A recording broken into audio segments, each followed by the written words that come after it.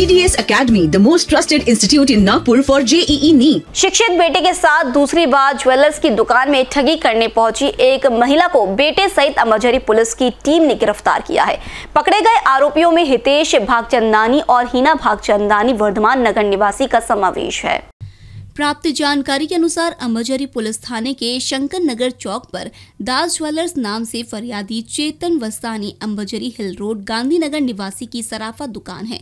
पिछले साल 17 दिसंबर को आरोपी महिला अपने बेटे के साथ इस दुकान में खरीदारी के लिए आई थी।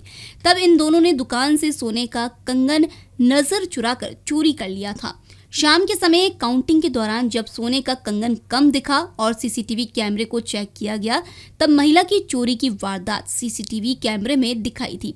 इसके बाद उनके खिलाफ अम्बाझरी पुलिस थाने में मामला दर्ज किया गया। रविवार शाम आरोपी महिला दोबारा अपने बेटे के साथ शंकर नगर स्थित उसी सराफा दुकान में पहुँची थी। हालाँकि इस बार दुकान में काम करने वाली महिला ने उसे पहचान लिया।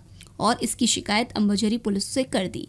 इस बार भी यह महिला इससे पहले की अपनी ठगी की मंसूबों को अंजाम दे पाती। पुलिस ने मौके पर पहुंचकर इन दोनों को हिरासत में ले लिया।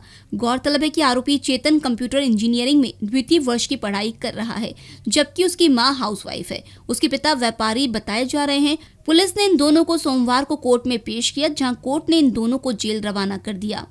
मागील वर्षीचे डिसेंबर महिन्यात दास ज्वेलर्स शंकरनगर चौक येथे एक महिला व त्याच्यासोबत एक इसम असे दोन इसम दोन व्यक्ती आले होते आणि त्यांनी हातच्या लाभेने जवळपास पंचवीस ग्राम वजनाचे सोन्याच्या बांगड्या तिथून चोरी केल्या होत्या.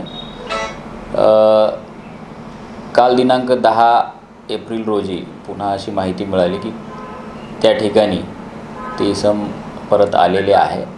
व ते संशयितरित्या वागत आहे. त्यावरून पोलिसांनी त्या ठिकाणी जाऊन तपास केला असता मागील घटनेतील चोरी त्यांनीच केल्याचे निष्पन्न झाले. त्यामध्ये त्यांना ताब्यात घेऊन पुढील तपास करून चोरी गेलेला मुद्देमाल पंचवीस ग्राम सोन्याच्या बांगड्या रिकवर करण्यात आलेल्या आहेत या महिलेचे किंवा त्या इस्माचे पूर्वीचे गुन्हे रेकॉर्ड नाही आहे तपासात असं निष्पन्न झालं आहे प्राथमिकदृष्ट्या की तिला काही मानसिक आजार असल्याने त्या आजाराच्या भ्रांतीत तिने ते कृत्य केल्याचं प्राथमिकदृष्ट्या निष्पन्न होत आहे. पुढील तपास चालू आहे. त्याचं शिक्षण चालू आहे. आईसम त्या महिलेचा मुलगा आहे आणि ती महिला त्याची आई आहे. कैमरा पर्सन अखिलेश भारद्वाज के साथ Abhishek Pansi BCN news Nagpur. Enroll now. For more details, call